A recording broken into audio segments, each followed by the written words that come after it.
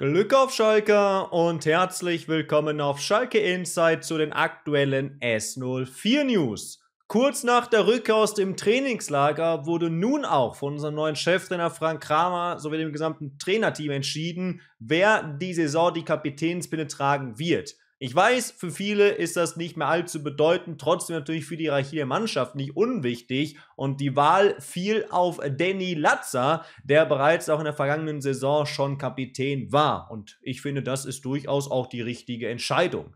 Es gibt nun auch äh, zwei Stellvertreter, die auch in voller Reihenfolge ernannt wurden. Zum einen Simon Terodde ist somit unser zweiter Kapitän, sicherlich nicht überraschend, aber ein Neuzugang ist direkt unser dritter Kapitän und das ist Maya Yoshida was sicherlich nochmal zum Ausdruck bringt, dass er wirklich unser Abwehrboss sein wird, Stammspieler schlechthin, wenn, weil das drückt natürlich auch so eine Entscheidung in gewissermaßen mit aus. Und die drei genannten bilden gemeinsam mit Viktor Palsson, Ralf Fährmann, Tom Kraus und Michael Langer, der zugleich auch Kassenwart ist, dem Mannschaftsrat. Und auch die Wahl ist sicherlich durchaus teilweise überraschend. Ralf Fährmann und Michael Langer spielen zwar sportlich nicht mehr die allzu große Rolle, sind aber für die Mannschaft einfach unglaublich wichtig. Auch das zeigt das nochmal. Ähnlich auch bei Viktor Palsson, wo ja auch schon viele gesagt haben, ist er gut genug für die Bundesliga? Warum behält man den? Weil er eben nicht nur sportlich was kann, sondern auch als Typ unglaublich wichtig ist. Und neue Mannschaftsrat ist damit Tom Kraus.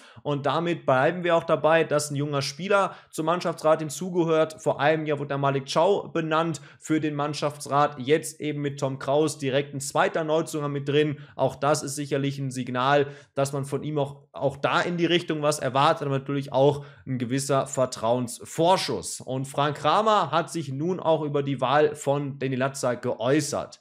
Wir haben die vergangenen Tage und Wochen intensiv genutzt, um uns mit allen Beteiligten umfassend auszutauschen. Auch in diesem Fall steht für mich der Teamgedanke über allem, weshalb wir uns ausreichend Zeit nehmen wollten, um ein Gefühl für die Gruppe und die bestehende Hierarchie zu bekommen. Freut sich Kramer darüber, nun also die Entscheidung getroffen zu haben. Und ich finde, Latza als Kapitän ist die vollkommen logische und richtige Wahl, weil das eben auch schon war und in der Vorbereitung auch sportlich einen sehr, sehr guten Eindruck hinterlässt. Terodde und Yoshida als Stellvertreter, auch das macht sicherlich Sinn.